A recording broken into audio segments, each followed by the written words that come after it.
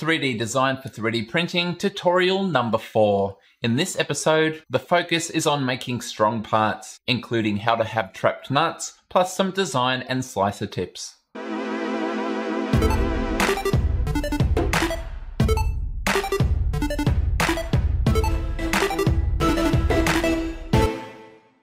This video is part of a series on learning 3D design for making custom 3D printed parts using a free Onshape account.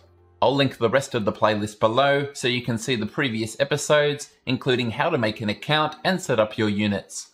In this episode, our aim is to design parts that are strong using some not so obvious techniques. This is my pedestal drill and it's a pretty typical example. At our previous place, it was sitting against a wall, and that means I could bolt my drill bits to that wall for easy access. But in the new place, it's freestanding, and I've got all of these heavy things that I want nearby, so I need to make a bracket. I figure the upper section of this post should be a nice place for the bracket to clamp before it extends out to the left and holds up all of the things I want nearby. And those items have a combined weight of around 1250 grams, so my solution will need to be compact yet strong. As always, we start by gathering dimensions, and if you need a cheap set of calipers, I have one linked from Amazon in the description. At this stage on the drill, all I can measure is the post diameter and the available height, so I record those down on a piece of paper. And since I don't want a flat shelf, but instead want a contoured one to hold these objects securely, I'm taking basic measurements for those too. Some of them are too wide for the calipers, so a ruler is very handy in these instances. So far in this series, we've been revisiting this list of 3D printing considerations, and one of them is particularly relevant for this tutorial, and that is that the print orientation and therefore the layer line direction will dictate how strong parts are. If you're new to 3D printing, I'll link my beginner video about this topic in the description below. In a nutshell, our layer lines will travel vertically up the object, and these are the weakest link, so it's much better to keep objects low and wide for optimal strength if a 3D printed part is going to fail, it's more than likely going to snap where the layer lines are, rather than the extrusions that form the layer lines tearing apart. And this is easily demonstrated with a simple destructive test, where the same object printed low and wide is much much stronger. If we fast forward to the final design, to take advantage of this principle, we're actually going to split this into three separate parts, so each can print in the strongest way possible. So back into Onshape, and if you want to create a new document, we can come to Create and then Document. But I'll be adding to this document TT Tutorials, which is linked in the description. I'm going to come down to the plus, create a new part studio, and then right click on the tab to rename. The first step is to model the post that our clamp will attach to on the drill. And this is simply a sketch with a circle, dimension to the correct diameter, and then extruded to the available height. From here, we can then go forward and design our clamp. This clamp is actually a tricky part because it needs to flex open to fit around the drill post, yet it still needs to be quite strong. We'll begin by drawing another sketch and putting it on top of the drill post. My sketch for this starts with two circles, one for the inner and one for the outer wall of the clamp. I then add a horizontal construction line, and above that, Draw the wider geometry where the bolt will go through and interface with the nut to tighten and lock the clamp around the post. Rather than draw this twice, I then use the mirror tool, clicking on my center line, and then everything I click afterwards will be mirrored to the other side of this. And to clean up, I click on the trim tool that has the scissor icon and the shortcut key M, and when you move the mouse above geometry in your sketch, it will be highlighted, so when you click, that portion is then removed. Time to add some dimensions, such as the clearance around the post and the clamp. I need to be generous here, so I leave that at 1.5. Unfortunately, this messed up some of my other geometry, but since it's blue and unconstrained, I can drag it back into position and continue with my dimensioning. Next up, being the thickness of the clamp, and this is really tricky because too thick and it won't flex open wide enough, but too thin and it won't be strong enough.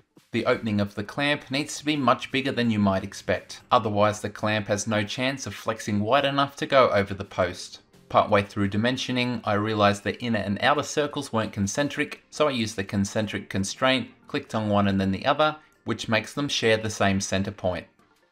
The final dimension is for the width of the opening, and when I add this, everything is black and therefore constrained.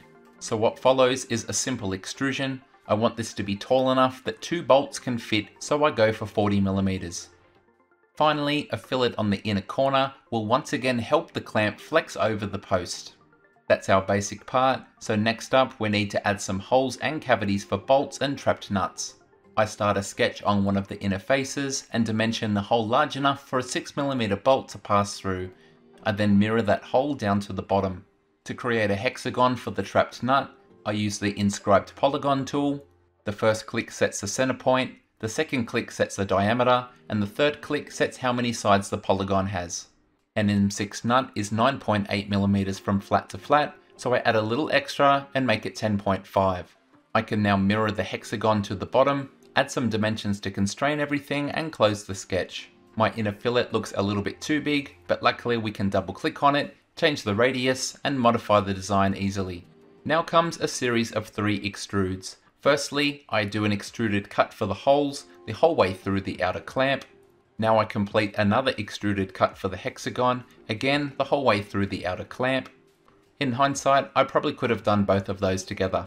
Now for a final extrude, this time just the outer hexagon, setting the thickness for how much plastic we want between the edge and the nut, and correcting the direction. Change the extrude to add and one half is done. For the bolt side, we do a very similar job.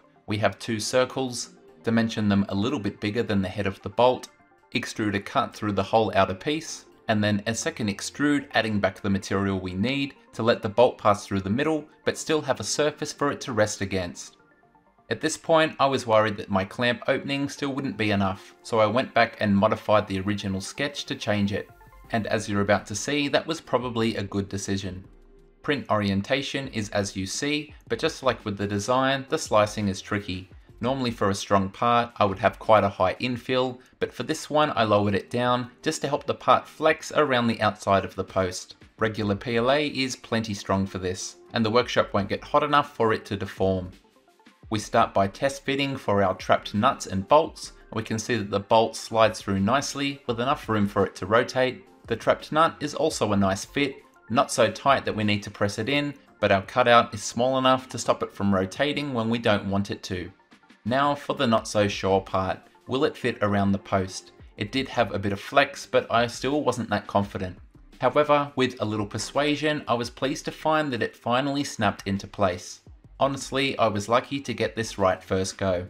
The next question was whether it would flex closed enough to clamp tightly on the pole, and that was a yes. And the final question was when it was clamped that tightly, what was the measurement between the two inner surfaces? And I found that 7mm would be ideal in my case. I couldn't design any more without that crucial 7mm measurement, but now that we have it, let's proceed. The next part I wanted to design was the tray or shelf for all of the items to sit in, and I started by mocking them up in their intended positions. The drill bits in the orange tray I rarely use, so I was happy for them to sit behind, and after that, everything else fell into a natural position. I also wanted a trough at the front to put miscellaneous items. The design for this part is really straightforward, so I'll move quickly. I drew basic shapes to match each item, dimension them to match the real life item, except adding a millimeter per side for a little bit of clearance, and then dragged around the shapes to find the ideal position. After this, I could draw an exterior bounding box. After a lot of experimentation, I got the packaging a little neater and started to work on the position of the entire tray relative to the clamp. We make this into a solid object with two simple extrusions, one of them upwards to grab the bottom of the parts, and then a second extrusion down to give us a floor.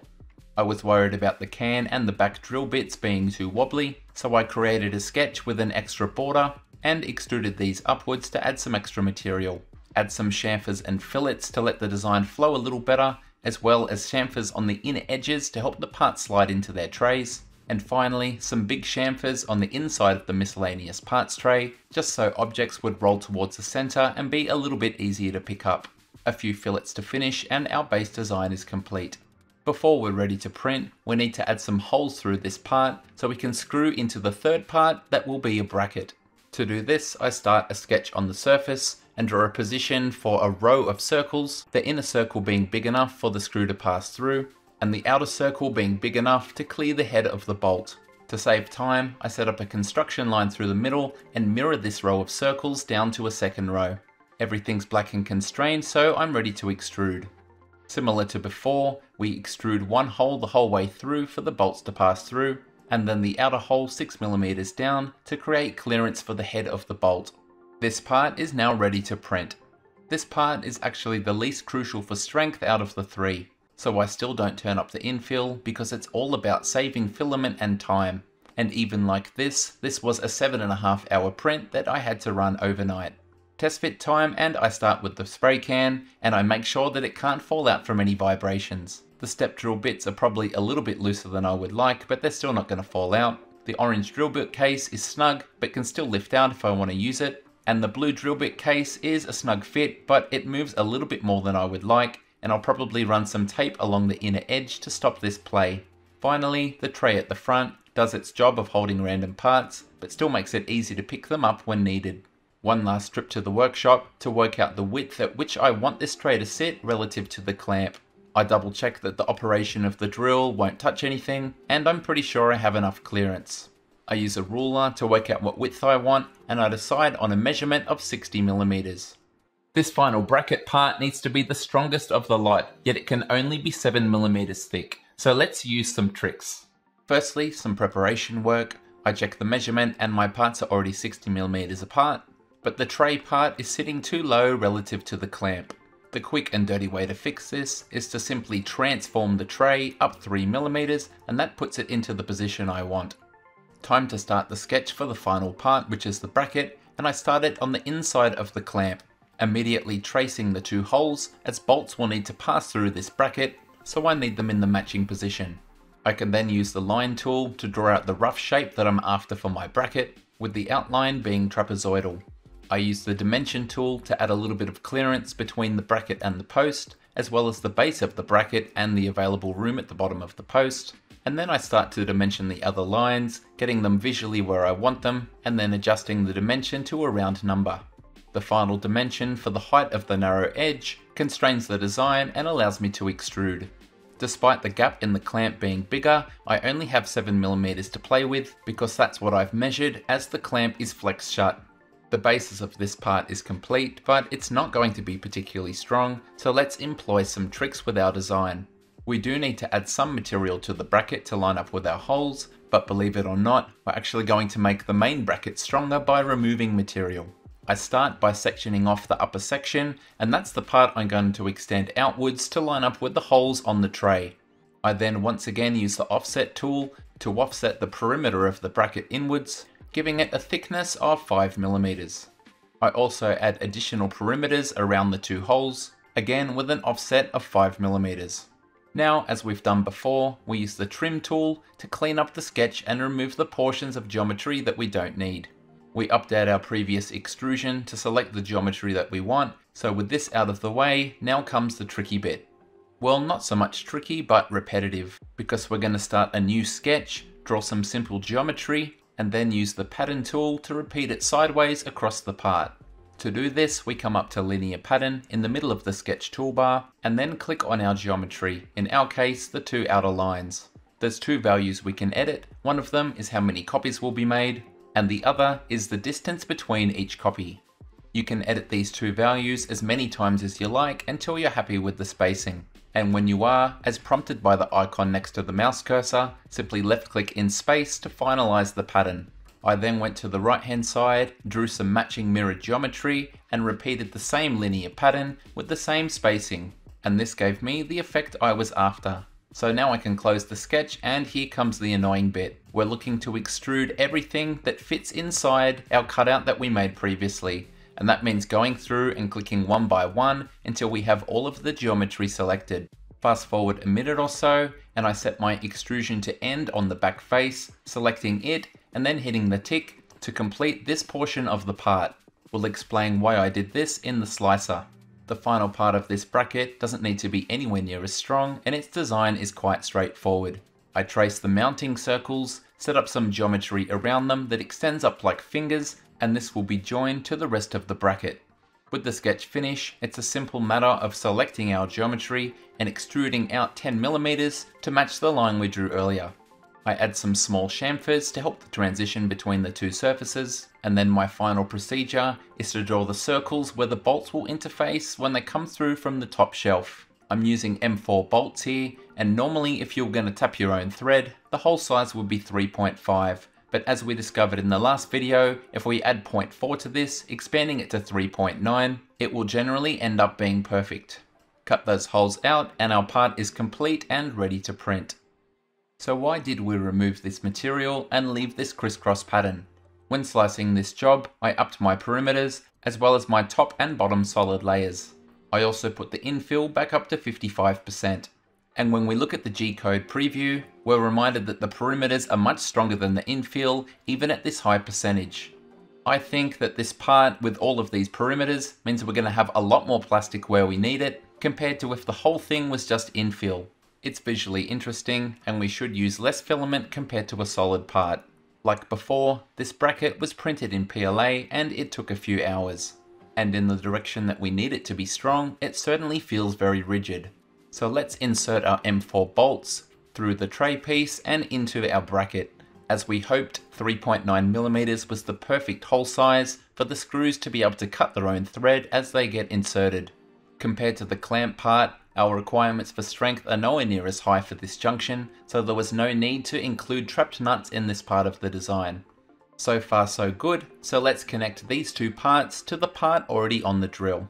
We lift it into place, align the holes on the right hand side, and push through the two M6 bolts to hold it securely. We insert our M6 nuts into the rear of the clamp, and then use an Allen key to start tensioning the clamp shut. All finished, but does it work? We already know that everything fits in the shelf, so it's simply a matter of loading up all of the parts and seeing if the bracket is up to the task. And I'm pleased to report that for this situation, the parts we've designed are rock solid. The main problem I need to solve now is the amount of wobble in the whole pedestal drill because it's on uneven flooring. Apart from that, we've achieved our design goal and created a sufficiently strong solution. All done, another problem solved with a custom designed and 3D printed solution. Look out for more episodes in the future as we add more knowledge and skills to our repertoire. Thank you so much for watching and until next time, happy custom designing and 3D printing parts. G'day, it's Michael again. If you like the video, then please click like. If you want to see more content like this in future, click subscribe and make sure you click on the bell to receive every notification. If you really want to support the channel and see exclusive content, become a patron. Visit my Patreon page. See you next time.